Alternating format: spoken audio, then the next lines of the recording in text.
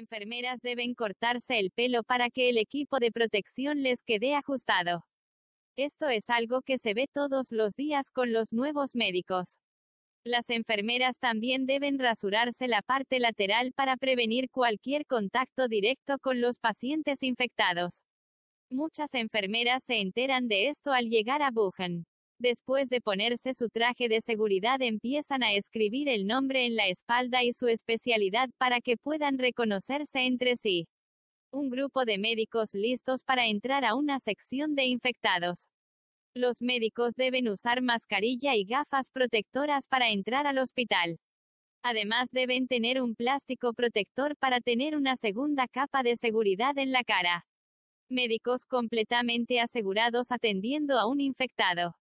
Los médicos trabajan hasta 24 horas al día lo que significa que muchos duermen en el hospital. Si te gustó este video dale me gusta y compartir. Yeah. No olvides suscribirte al canal.